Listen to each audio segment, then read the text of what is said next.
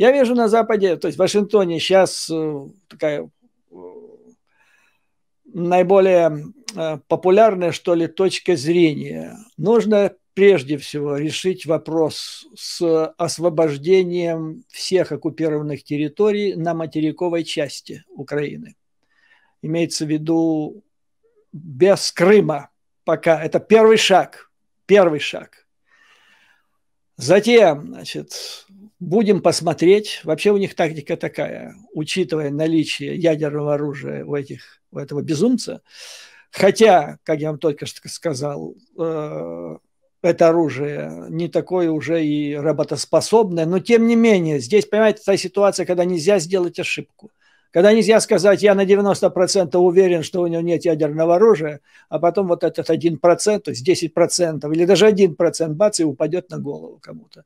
Нужно совершенно на 100% исключить. А этого не может не сделать никто. Таким образом, поэтому они делают one step at a time, то есть шаг за шагом.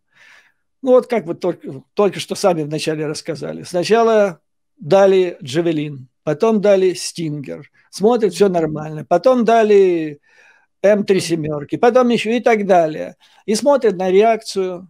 Реакция, она никакая реакция не будет, потому что ему нечем ответить. Но они хотят это видеть, что ему нечем ответить.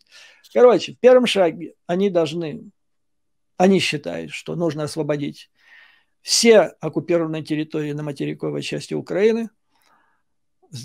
Наблюдается за реакцией я уверен, что реакция будет, ну, там, Медведев пошумит, покричит, ножкой топнет, вот примерно так, что-нибудь в Твиттере напишет. А второй шаг – это освобождение Крыма. То есть должно быть освобождены в целом все украинские территории, затем, после войны. Украина однозначно должна превратиться в форпост западной цивилизации на границах диких племен. Вот помните Киевская Русь? Она же была вот как раз этим э, защитным валом между Византией и печенегами и половцами, то есть от варваров защищала эту Византию. Ну, вот так примерно получается сейчас с Украиной, к сожалению, потому что, ну, география такая, ее не изменишь. А для этого Украина должна быть вооружена до зубов, новейшим оружием, новейшим оружием, с НАТО, я думаю, не совсем получится, потому что зачем Украине такие страны, как Франция и Германия? В НАТО вопрос стоит так, понимаете, вот э, если на какого-то члена НАТО нападают, то все остальные страны посылают родители, посылают своих сыновей и дочерей защищать вот ту угу. страну, ее народ. Для этого надо быть для них своим человеком. И прежде всего элита этой новой страны, которая вступает в НАТО, должна быть своей с элитой стран НАТО. Вот смотрите, Финляндия, Швеция. Как их быстро сказали, будем воспринимать, да?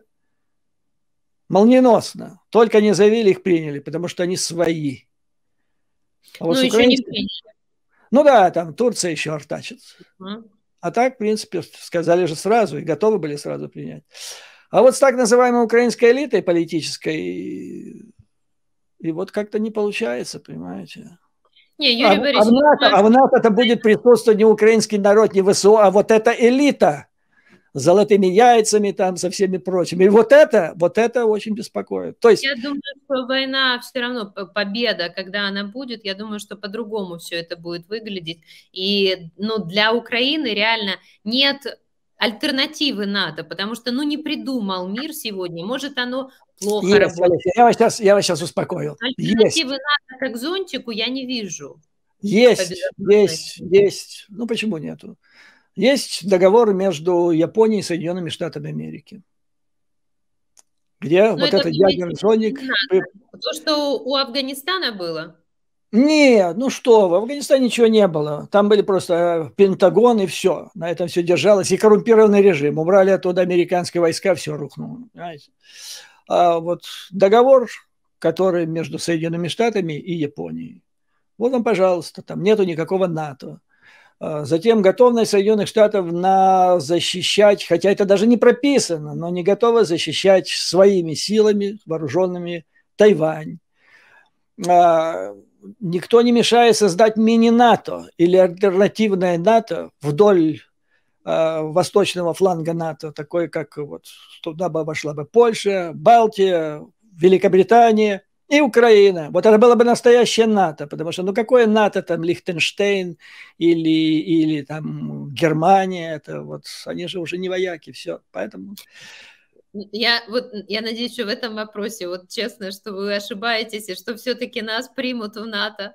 Хотя бы сразу после победы. Олеся, и... я вас приглашаю, заходите ко мне на канал, я вот два, два, два видео до этого, длинно, в двух, по-моему, видео. Я анализировал статью, вернее, интервью одного из умнейших людей Соединенных Штатов Америки. Его зовут Роберт Гейтс, республиканец, который был директором ЦРУ, министром обороны в нескольких администрациях. Он выше этих партийных всех дел. Я наблюдаю за ним с начала 80-х годов. Умнейший человек. И то, что он говорит, это сбывается. Вот он написал про танки вместе с Кандализой Райс когда о танках так говорили очень, очень, очень э, аморфно, раз через некоторое время были поставлены. Вот он, он практически исключает принятие в обозримом будущем Украину в НАТО, но он говорит, что Украина должна стать членом альянса другого, не обязательно НАТО. Ну почему у вас НАТО? Какая проблема с НАТО? Какая у вас проблема с НАТО? Слушайте, даже ну, уже... давайте назовем его мини-НАТО, а все остальное то же самое. Даже Вы уже знаете, что, Олеся, вот последнее вам сейчас скажу. Вы знаете, что пока вот сейчас вступает Швеция и Финляндия, все это подвисло же, да? Как только они сказали, что они собираются вступать в НАТО, Великобритания подписала с ними соглашение, согласно которому, если на них нападу, нападет Россия вот в данный момент, Великобритания готова применить свое ядерное оружие для их защиты. То есть есть варианты. Есть варианты включая то же самое пятую статью ядерное оружие. Даже уже Киссинджер, ваш друг давний, который вы рассказывали, у него э, кличка агентурная, несостоявшаяся, да, была Киса да, в Киса. время, а, в свои сто лет пересмотрел э, позиции некоторые, ну, еще не до конца, правда, пересмотрел, но тем не менее. Ему сто лет. Вот что в том-то и дело, сто лет. По, по НАТО он уже сказал, что надо принимать. Хорошо, идем дальше. Не, Знаете, я все-таки закончу, Олеся. Я вот единственное, что хотел сказать, умную мысль. Помните, как в кино Мимино? Сейчас я в одну умную мысль скажу. Я считаю, что надо добиваться реальной цели. Вот, как примерно сказал Бигельс, что надо Украину принять в систему коллективной безопасности, но не в НАТО. Ну, аналогичная, да? это реально, это реально, потому что если вы поставите НАТО, то можно биться 20-30 лет за НАТО, а в это время страна будет незащищенной. То есть Украине после победы нужно сразу куда-то вступать для того, чтобы обеспечить свою коллективную безопасность. Плюс изобилие а оружия. Я вам ну, возражу сразу. Смотрите, когда первый же день широкомасштабного нападения мы все кричали, взывая к Западу, закройте украинское небо, то есть подразумевая все, в том числе там и истребители, и ПВО, и все остальное, а, нам э, Запад говорил устами той же Германии, ну, максимум мы вам каски можем дать. И каски они нам дали. Ну, да. Все, ну, да. никакого оружия, ничего. А потом, да. шаг за шагом, то есть нужно, я как раз нет, я как раз считаю, что нужно ставить цели, вот те, которые прям нужны, ну и, и, и идти к ним, потому что опыт показывает, что так это и работает. Ну и слава богу, да. Мне кажется, что очень много людей вас сегодня видя и интервьюируя, спрашивают о том, вот вы, э, когда еще во времена вашей учебы совместной с Путиным в Институте внешней разведки имени Андропова, вот почему вы с ним там ничего не сделали? Вот представляете, как, какую бы услугу вы миру сейчас оказали? Лес, ну, во-первых, я же вам э, рассказывал-то, и Дмитрию рассказывал в одном из первых интервью. Я-то лично с ним не пересекался вообще не пересекался. Во-вторых, Не, не, не знаю, не знаю, потому что я пересекался с людьми, которые его тренировали, но мне рассказывали совершенно никчемное создание. Он был такой, знаете, как Пушкин про Татьяну Ларину писал в молодые годы. Дика, печально, молчаливо, как лань лесная, боязлива. Да? Она в семье своей чужой, родной казалась девочкой чужой. Вот такое оно было, такое забитое, занюханное какое-то, вот, на которое никто не обращал внимания.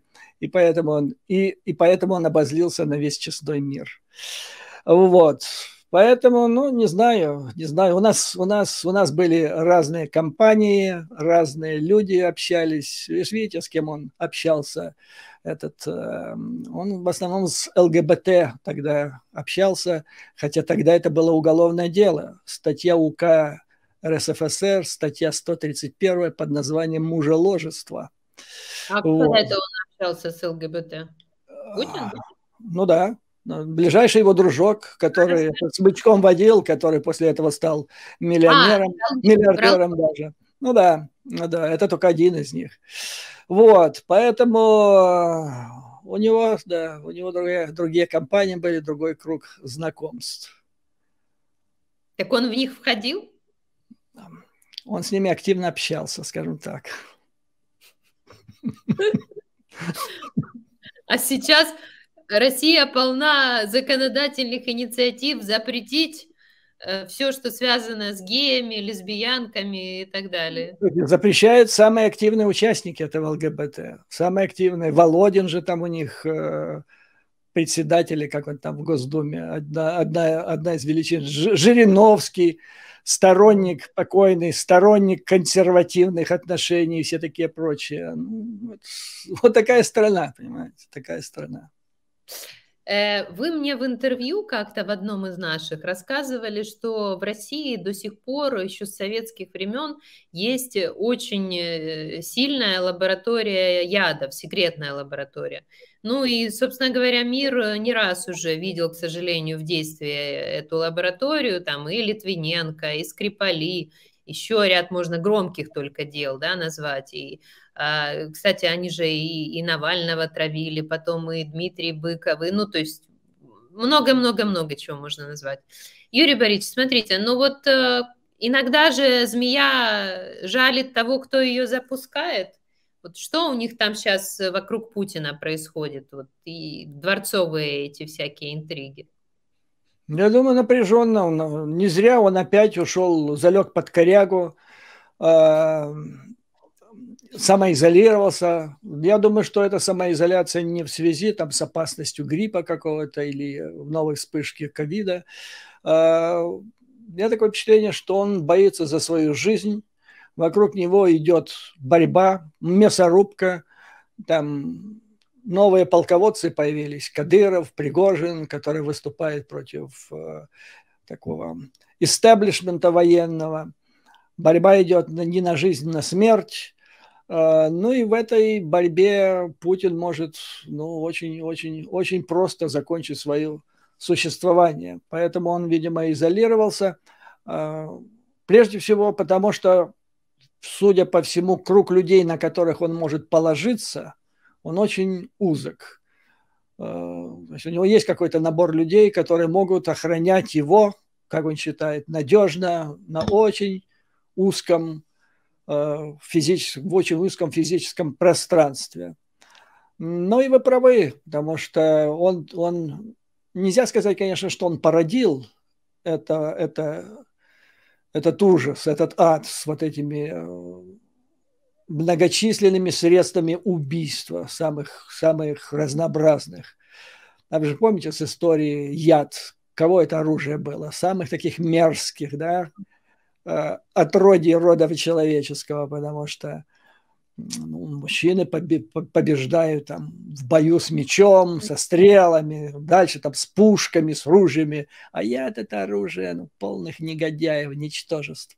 Ну и вот это все расцвело при нем пушным цветом, и теперь он, ну, оно настолько расползлось уже, они не смогли удержать это под контролем под единым где-то контролем какой-то определенной иерархии. И у кого теперь находится это оружие, не знает даже он. Это, является источником очень большого напряжения для него. Так он боится, что его отравят?